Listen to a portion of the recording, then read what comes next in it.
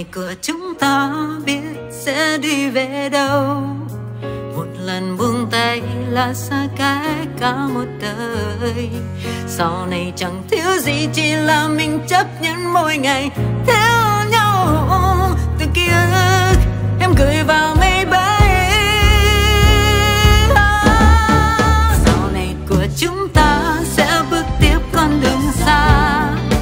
Vui buồn